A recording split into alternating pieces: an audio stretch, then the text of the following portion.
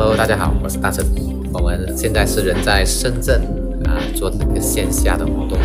这次呢，也是第一次在这个直播平台分享我们的活动，为大家分享关于啊马来西亚房地产呢，马来西亚第二家园计划啊，孩子教育在马来西亚的这个身份呢，国际学校，他是创业在这边投资，我们都可以到一个比较靠谱的一些建议。在这个直播间有什么问题都？能够为大家解答，OK？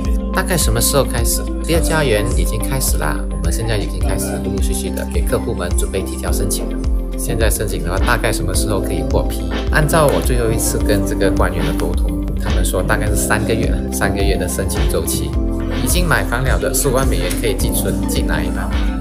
根据呃我跟官员的了解呢，呃他们还在讨论这个东西。原本是打算就是存好这个十五万美元，啊如果你买了房子的话，就可以直接申请拿出来。但是就考虑到这个可能对国家起不到经济效益，所以他们还在考虑是否要等到一年后啊，还是马上就能取。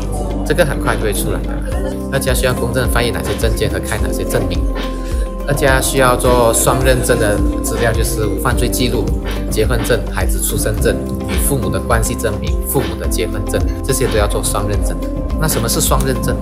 双认证就是你把你的资料呢拿去这个公证处做好这个公证呢，就要拿去外事办，外事办做好这个认证呢，再送去这个马来西亚驻中国领事馆做最后的这个认证。通常这个手续是可以自己去啊，但是如果想那么麻烦的话，是可以找代办。买了房的办理第二家园还需要重新买房？不需要。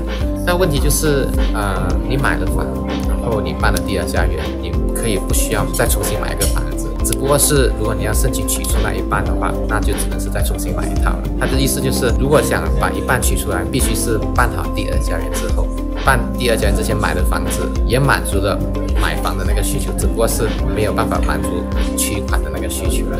不买房有办法办二家。呃，现在的二家是肯定是需要买房子的，只是你必须是办好的二家了以后的一年内要买这个房子。另外一个就是尊荣卡、尊荣签证。尊荣签证的话，就是它的费用很高，它没有买房的要求，它费用很高。早上场的一些客户有做分享说，哎，那还不如办尊荣卡，不用买房子。但你要想下。尊荣卡的代办费，主申请人就七万，附属钱就三万，然后如果你一家三口，这边就十三万，然后他的这个移民局的参与费呢，主申请人是二十万，每一个附属钱是十万，单单要消费的这些金额呢，就达接近五十万马币，就跟第二家园比，还是第二家园的性价比。这个房子的话，其实还是值得去投资的，因为你说如果无论是考虑孩子在这边上学也好，生活还是什么的话，你去租房子在这边租个十年八年的话，也是一笔费用。就还不如买一套房子。那你说十年后还是二十年后，你原价卖出去也好啊，至少是把这个租金给省下来了，对吧？就是你们有在马来西亚这方面的需求，那有什么需要呢？可以跟我们的工作人员进行联系，然后我们可以更好的协助你们啊，为大家解答。OK。